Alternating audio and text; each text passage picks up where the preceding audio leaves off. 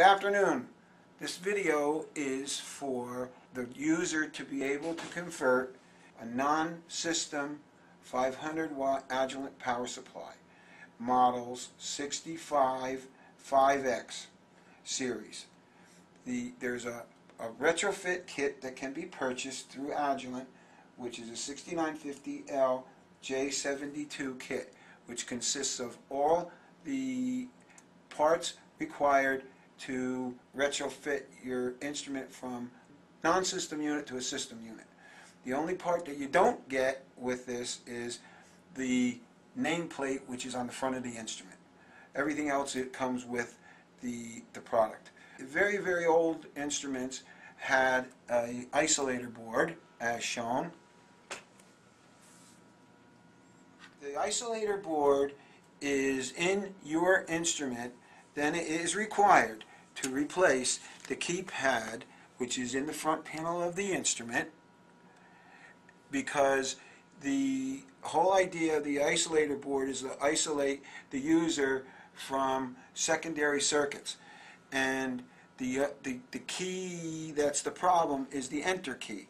And as you can see there's a little step in there. And if the enter key for some reason gets damaged or broken or what have you that step makes it so you cannot get the enter key out so the user can't come in contact with the secondary circuits. So, next step is to save time, I'm going to just replace the entire rear panel with the GPIB board connected. But I must say, when you're going to replace your instrument and have a new GPIB board and make it a system unit, you're going to reuse your rear panel. You get the connector that holds the stability for the GPIB board and all the hardware to hold the GPIB board in place. As you can see, this is how the connector goes. In this case, it's riveted. In this case, it'll be screwed in place. So, to save time, I'm going to replace the boards. The, the, the, the GPIB board has been placed in the rear panel using the required hardware as shown. The connector that gives stability to the GPIB board has been installed and the next step is to connect the cables.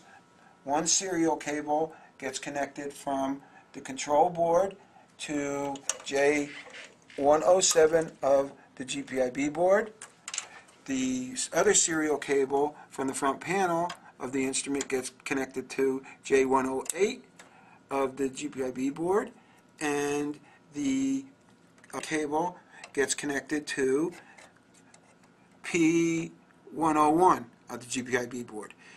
In newer instruments, the some of these cables won't be uh, in the instrument. The kit, the 6950L kit, will come with all the cables required to do the retrofit.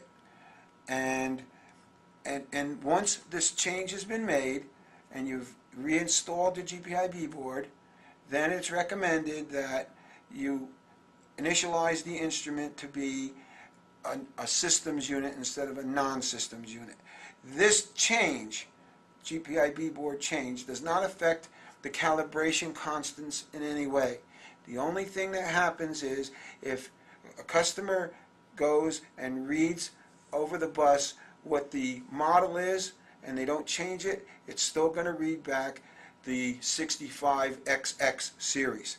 So it's recommended that the model be changed and that information can be found in the manual. The nameplate should also be changed um, to reflect the new systems model. So I hope this video